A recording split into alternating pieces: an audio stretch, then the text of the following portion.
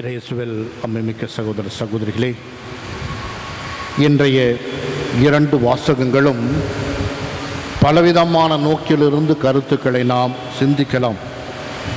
ஆனால் இன்று ஒரு கருத்தை உங்கள் முன்பாக வைக்கிறேன். கடவுளால் முடியாதது ஒன்றுமில்லை. கடவுள் நினைத்தால் இயற்கைக்கு எதிராக கூட இயற்கைக்கு மாறாக கூட அவரால் ஒரு அதிசயத்தை ஒரு புதுமையை அல்லது அருள் வாக்கை நமக்கு நிச்சயமாக கொடுக்க முடியும் என்பதற்கு இன்றைய இரண்டு வாசகங்களும் நமக்கு வலியுறுத்துகின்றன.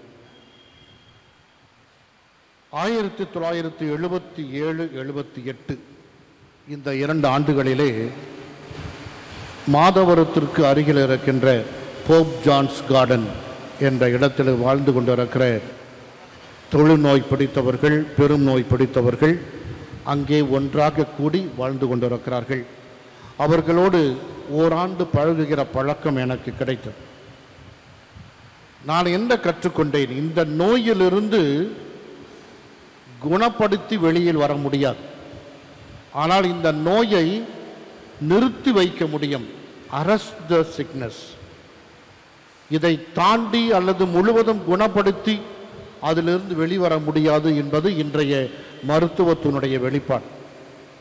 இந்த நவீன காலத்திலேயே இப்படி இருக்கிற போது அந்த காலத்திலே எப்படிப்பட்ட மருத்துவம் இருந்திருக்கும்? ஆகவே ஒருவருக்கு பெரும் நோய் பிடித்து விட்டது என்று சொன்னால் நிச்சயமாக அவன் அதிலேயே சாக வேண்டும் என்பது அவனுக்கு நியதி. அப்படிப்பட்ட ஒரு சூழ்நிலை இயற்கையினால் மனிதனால் மனித அறிவினால் முடியாது என்று இருக்கின்ற ஒரு நோயை பெற்றிருக்கின்ற ஒருவன் இயேசுவிடம் வருகிறான். நூறு வயதுடைய ஆபிரகாம் தொண்ணூற்று தொண்ணூறு வயதுடைய சாரால் எப்படி ஒரு குழந்தையை பெற்றெடுக்க முடியும்? ஆபிரகாம் கூட உள்ளத்திலே சிரிக்கிறார். நூறு வயதாகிவிட்டது எனக்கு எப்படி குழந்தையை பெற்றெடுக்க முடியும்? உண்மைதான். மனித நே மனித வழியாக மனித அறிவிலே உலக ரீதியிலே நாம் சிந்தித்து பார்த்தோம் என்று சொன்னால் இது முடியாதுதான் ஆனால் கடவுள் என்ன சொல்லுகிறார்? முடியும். உனக்கு ஒரு மகனை கொடுப்பேன். ஈசாக் என்பவனை கொடுப்பேன்.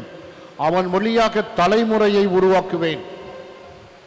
அன்பர்ந்தவர்களே இந்த இரண்டு நிகழ்ச்சியையும் இணைத்து பார்க்கிற போது கடவுள் எதை செ- நினைத்தாலும் அதை அவரால் செய்ய முடியும் என்ற நம்பிக்கையை உங்களுக்கும் எனக்கும் இன்று வலியுறுத்தி சொல்லுகிறார். ஆகவே நாம் இந்த திருத்தலத்திற்கு வந்திருக்கிறோம். ஒரு சில விண்ணப்பங்களை சமர்ப்பிக்க வந்திருக்கிறோம். நடக்குமோ நடக்காதோ என்ற தயக்கம் வேண்டாம். மாறாக இறைவனால் முடியும் என்னால் முடியும் என்று சொல்லி இயேசுவின் திருதயம் நம் ஒவ்வொருவருக்கும் இந்த முதற் கட்டத்திலேயே நமக்கு ஒரு வலியுறுத்தலை ஒரு விசுவாச ஆறுதல் வார்த்தையை நமக்கு ஆணித்தரமாக பதிக்கிறார். இரண்டாவதாக நாம் எப்படி ஆண்டவரிடம் கேட்க வேண்டும்? இதற்கு முதல் வாசகத்திலே ஒரு கருத்து இருக்கிறது. கடவுள் சொல்லுகிறார் ஆபிரகாமை பார்த்து எனக்கு பணிந்து நட தூயவனாயிரு. எனக்கு பணிந்து நட தூயவனாயிரு. இந்த இரண்டுமே முக்கியம். இறைவனுக்கு பணிந்து வாழ வேண்டும். அதே நேரத்திலே இறைவன் முன்பாக நாம் தூயவர்களாக இருக்க வேண்டும். இந்த இரண்டு நிலைகளை நாம் அடிப்படையாக கொண்டு விட்டோம் என்று சொன்னால் இயற்கைக்கு எதிராக கூட மனிதனால் முடியாது என்று சொன்னாலும் கூட நிச்சயமாக இறைவன் நமக்கு செய்து கொடுப்பார் என்பதை இரண்டாவது படியாக நம்மை அமைத்துகிறார். மூன்றாவது எப்படி கடவுளிடம் கேட்பது? நாம் பொதுவாக என்ன செய்வோம்? ஆண்டவரே எனக்கு இதை கொடு. ஆண்டவரே எனக்கு ஒரு நல்ல வேலை கொடு. ஆண்டவரே எனக்கு இந்த கல்லூரியில் வேலை கொடு. அல்லது இந்த பெண்ணை கொடு. திருமணம் நல்ல நடக்கட்டும். அல்லது எனக்கு ஒரு குழந்தையை கொடு.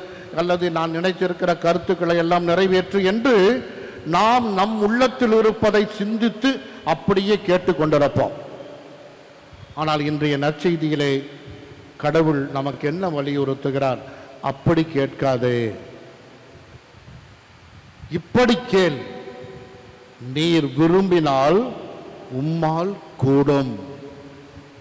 இந்த நீர் விரும்பினால் உம்மால் கூடும் என்பதற்கு நான் ஒரு நடந்த நிகழ்ச்சியினை உங்கள் முன்பாக வைக்கிறேன்.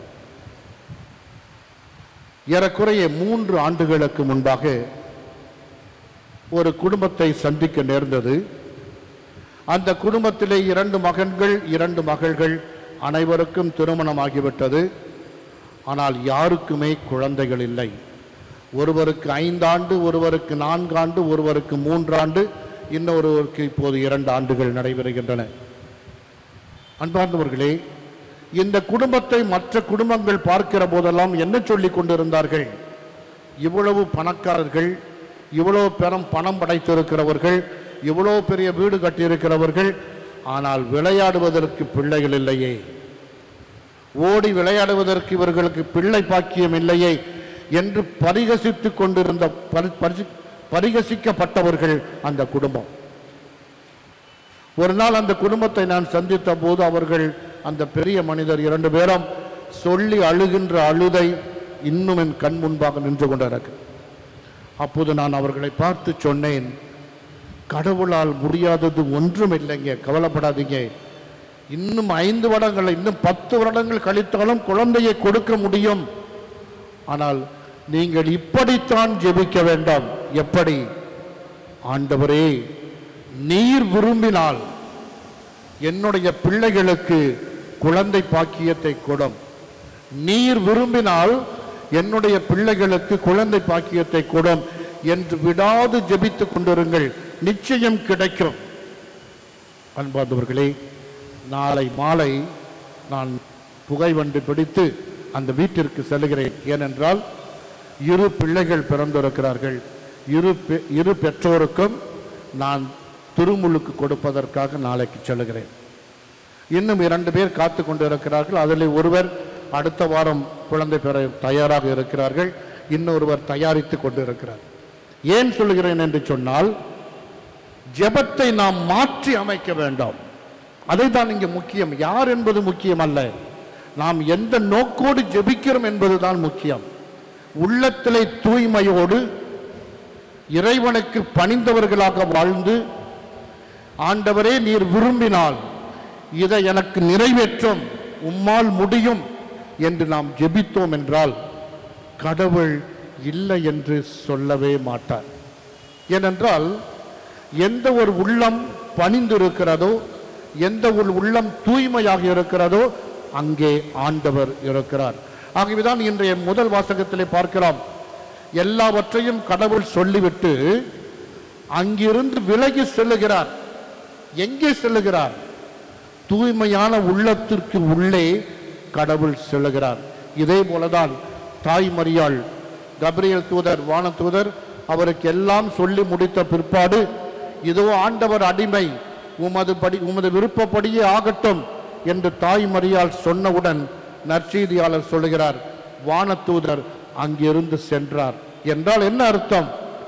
அங்கிருந்து சென்றார் என்றால் இடம்பெயர்ந்து செல்லவில்லை. அங்கிருந்து உள்ளத்திற்கு உள்ளே செல்லுகிறார். இதைதான் நாம் நிச்சயமாக இன்றைய தினம் ஆணித்தரமாக அணிந்து கொள்ள வேண்டும் அன்பார்ந்தவர்களே.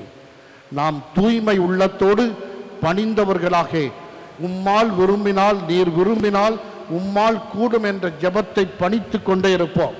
நிச்சயமாக நம்முடைய வாழ்க்கையில் நடக்கக்கூடாத வா நிலைகள் நடக்க முடியாதவைகள் இதனால் வரை தக்க வைக்கப்பட்டிருக்கின்ற விண்ணப்பங்கள் அத்தனையும் இயேசுவின் திருதிய சக்தியினால் நடக்கும் என்ற நம்பிக்கையோடு நாம் இத்திருப்பலியில் கலந்து கொள்வோம். நிச்சயமாக இறைவன் உங்களையும் என்னையும் தொடர்ந்து ஆசிர்வதிப்பாராக.